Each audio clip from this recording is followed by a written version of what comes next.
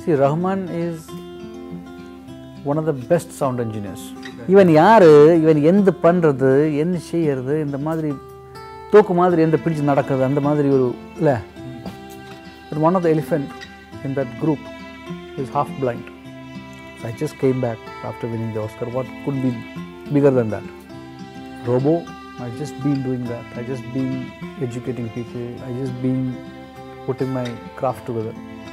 You know, you see a Hindi film. I wanted to burn all the negatives of Hindi films, and I am going to invent superconductive element and win a Nobel Prize for India. Let's all hope that our Talaivar will come to our life in the most enjoyable, most you know, thundering way. Thank you. Sound designing அந்த விஷயம்லாம் கவனிக்க ஆரம்பிச்சதே எப்படின்னா Slumdog மில்லியனுக்கு Oscar கிடைக்குது அதுக்கப்புறம் நீங்கள் பண்ணுற design பண்ணுற எல்லா படத்தோட இதுலேயும் உங்களோட நேம் போட்டு அகாடமி வின்னர் சவுண்ட் டிசைன் பண்ணுற படம் அப்படின்ட்டு. ஸோ அந்த ரெகக்னேஷன் எப்படி இருந்தது? ஃபஸ்ட்டு நீங்கள் கேட்கும்போது பார்க்கும்போது.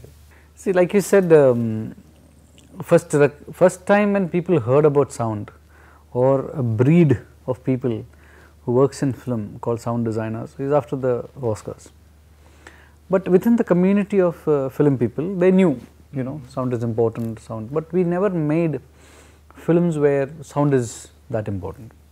Music always, because music sells, sound doesn't sell. See, our industry is like that. Now, what sells works, you see. So, that is how it's all started. But as a, as a tool of storytelling, this has tremendous possibilities.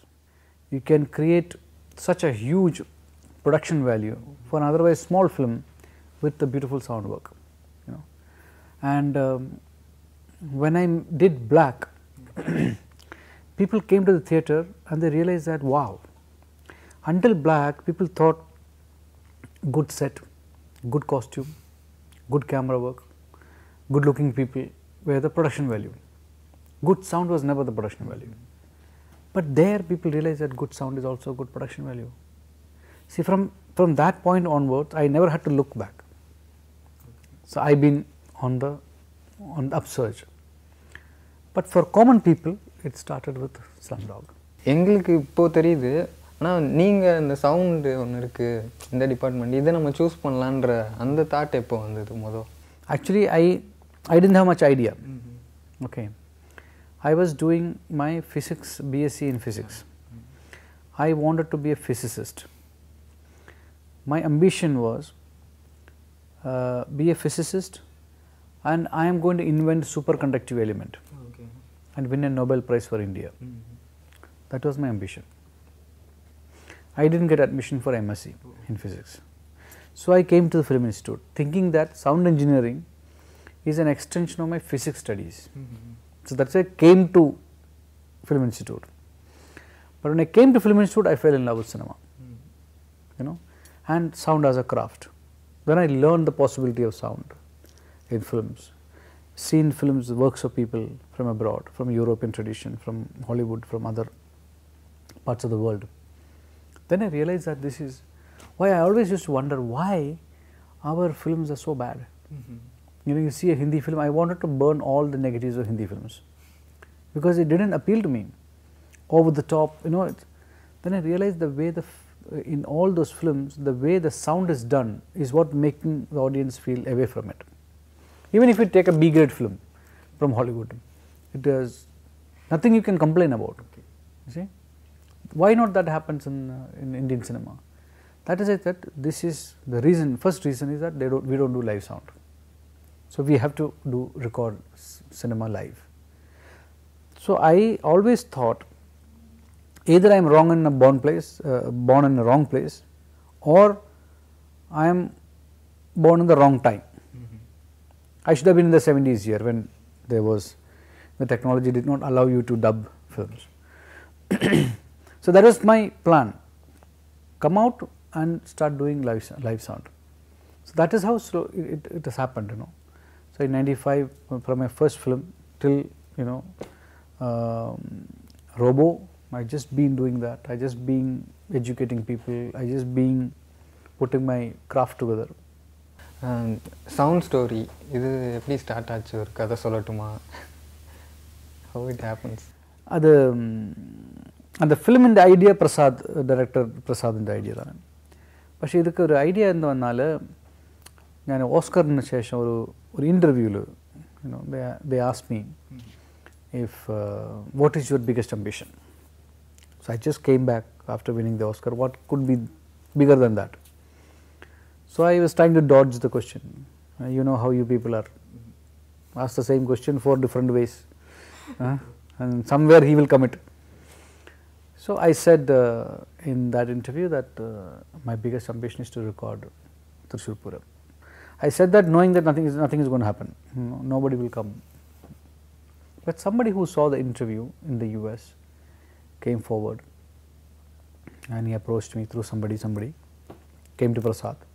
Prasad told me, sir, I say, Sahib, there's a, somebody has, is willing to put in money for you to record Puram. I was like, wow, who is this guy? And that guy is Rajiv Panakkal, who happened to be the producer of the film. Mm -hmm. So he is an accidental producer. I am the accidental actor ஆக்டர்னா ஒரு எனக்கு poster பார்த்தோன்னே ஒரு documentary டைப்பில் இருக்குமா? இல்லை ஒரு நிஜமாவே ஒரு படமாகவே இருக்கும்? டாக்குமெண்ட்ரி அல்ல இது. நிஜமாவே ஒரு படம் தானே.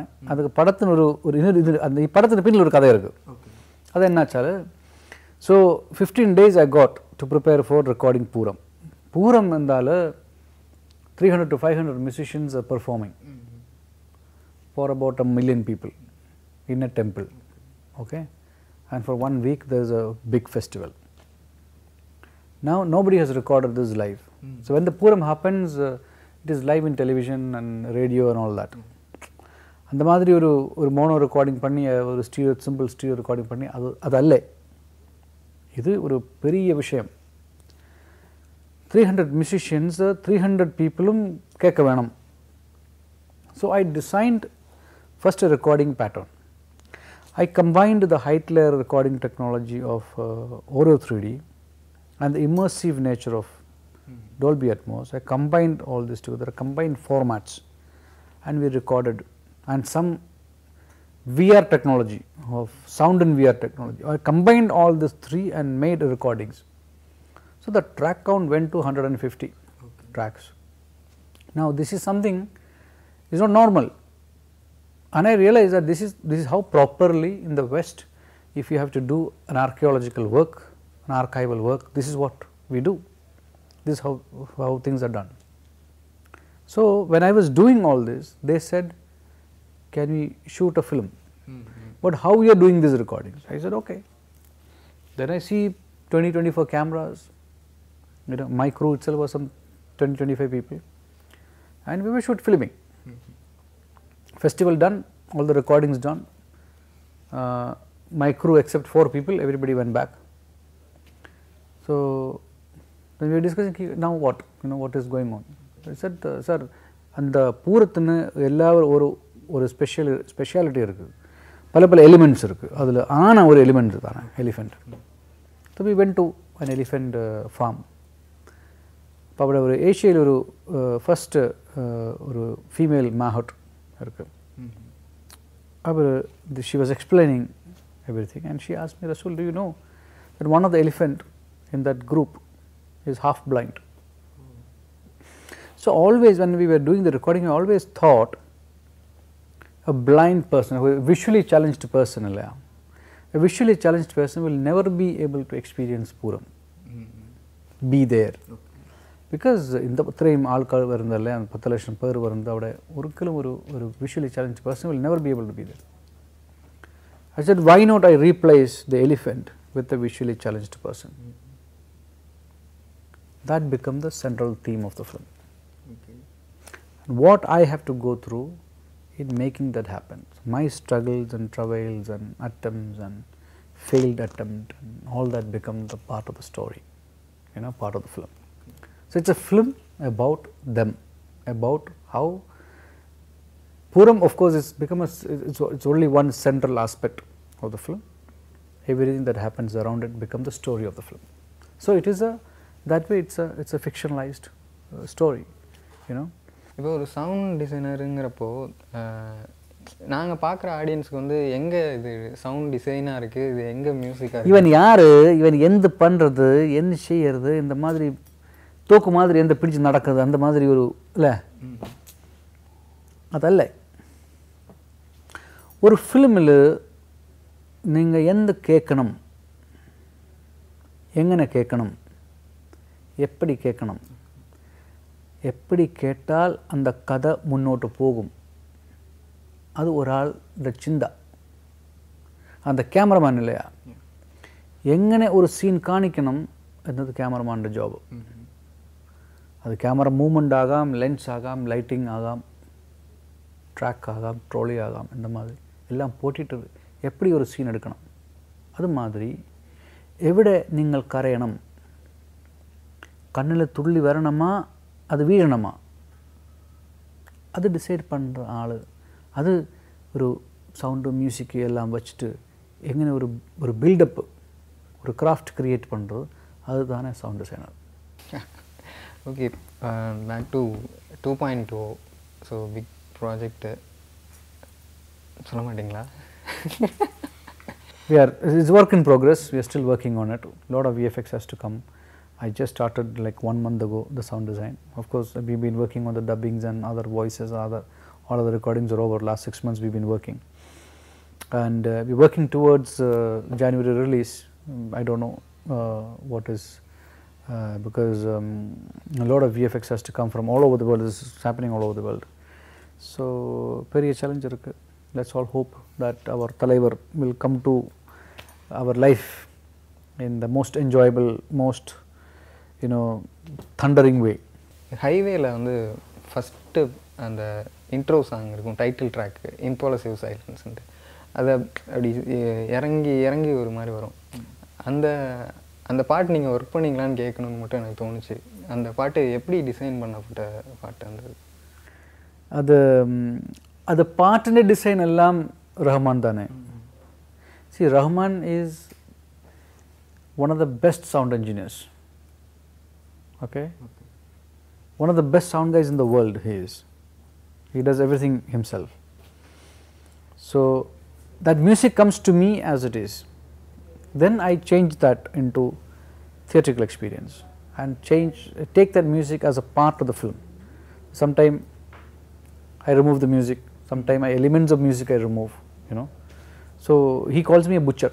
Okay sir, thank you. All the best for Thank you man.